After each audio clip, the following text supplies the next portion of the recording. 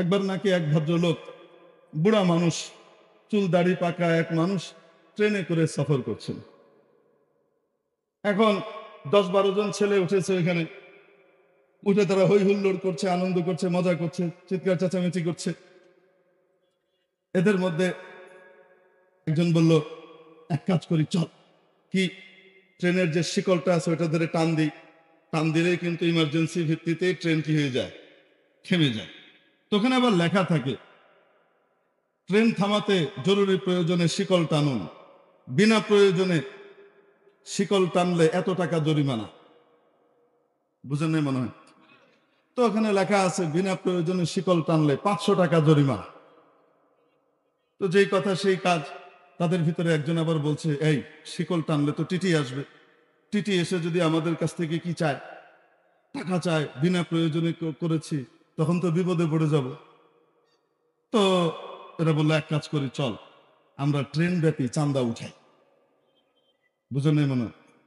আর আলেম ওলামারা তো চান্দা উঠাইতে যায় নেককার মানুষদের জন্য পরেশগারদের জন্য, মাদ্রাসার জন্য, মসজিদের জন্য, আল্লাহর ঘরের জন্য। না কেন? তেমনি ভাবে দুস্থ মানুষের জন্য বরিশাল সহকারে যে সমস্ত অঞ্চলের ভিতরে রুমাল না, রিমাল কিনা তার তাণ্ডব হয়েছে, সেখানে কীভাবে ত্রাণ দেয়া যায়, যথাযথভাবে তাদেরকে রেস্কিউ করা যায়, এদের জন্য তারা কি করে? মানুষের কাছে হাত পেতে বেড়ায়, ঘুরে বেড়ায়। কিছু ভালো মানুষ আছে, তারা এই সমস্ত কাজের জন্য হাত পাতে। আবার কেউ কেউ আছে, কোন কোন মানুষ আছে, অমুকের ক্যান্সার হয়েছে বক্স একটা নিয়ে ঘুরে বেড়াইতেছে। আসলে ক্যান্সারওয়ালারও খবর নাই ক্যান্সারও নাই, কারও কিছু নেই, এটা বক্সই শুধু আছে। এটা অনেক সময় সত্যও হয়, অনেক সময় মিথ্যাও হয়, ঠিক কি, ঠিক না? হ্যাঁ এরকমই বলে যে, আমরা একটা বক্স বানিয়ে চল পুরা ট্রেনে ঘুরবো, আমাদের বারো হাজার টাকা উঠে যাবে। বারো হাজার টাকা আমাদের ইনকাম হয়ে যাবে।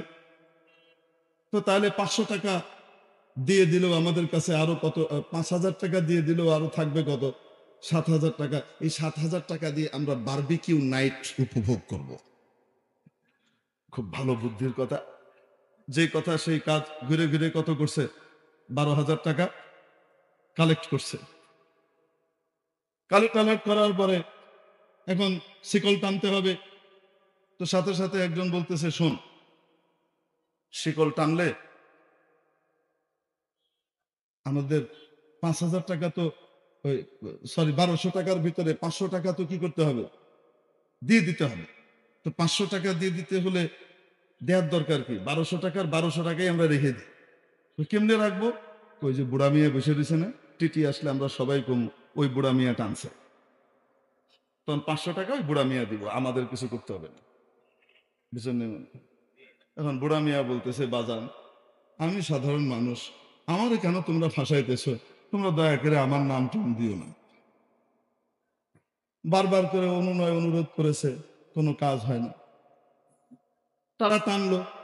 আসার পরে সবাই মিলে বলল হ্যাঁ হ্যাঁ, হ্যাঁ, থামিয়েছো। টিটিকে বলছে এই যে এই যে যে বুড়ো লোকটা উনি টেনে থামিয়েছেন। উনি যতই বলেন, আমি থামাই নাই। না না না, থামিয়েছে। তো যখনই বলছে যে, এই লোক থামিয়েছে, স্বীকার করছে না, সাথে সাথে বুড়ো বলছে যে হ্যাঁ আমি থামিয়েছি। কেন থামিয়েছেন? থামিয়েছি কারণ এই যে বারোটা এই ছেলেগুলা আমার গলার ভিতরে ছুরি ধরেছিল, ছুরি ধরে আমার পকেটে বারোশো টাকা ছিল, ছিনতাই করে নিয়ে গেছে। তাই বাধ্য হয়ে যান বাঁচাইতে আমি এটা টানছি। মারাত্মক কথা। না না না, মিথ্যা কথা বলছি উনি, এরকম কখনোই হয়নি তো সাথে সাথে উনি বলতেছেন যে, দেখেন, ওই যে ওই ছেলেটার পকেটে রাখা আছে বারোশো টাকা, দেখেন, ওই পকেটে আছে। সার্চ করে দেখা গেল বারোশো টাকা বেরোয়েছে। টিটি সাহেব ফোন করে দিছে, রেল পুলিশ আসছে, সবগুলারে হাত করা বলে লয়ে গেছে। যাওয়ার সময় বুড়া মিয়া বলতেছেন, কি বাজান, মানা করছিলাম না? এগুলো এমনি পাকে নাই। মনে করছে, এমনিই পাকছে। এগুলা কি করে নাই? এমনি পাকে নাই, কারণ অভিজ্ঞতা দিয়ে পাকছে। যাও। এজন্য বুড়া মিয়াদের সাথে কি খারাপ আচরণ করতে হয় না মহা সম্মানের আচরণ? ইসলাম এটাই শিখায়। আমাদের বড়দেরকে শ্রদ্ধা করে না, সম্মান করে না, মুরব্বীদের সম্মান করে না, আলেম ওলামাকে মন থেকে তাজিম করে না। ওলাম আযিম তাওকীর এবং তাজিমের ভিতরে পার্থক্য হলো আর তাজিম ইয়াকুনু মিনাল কলব।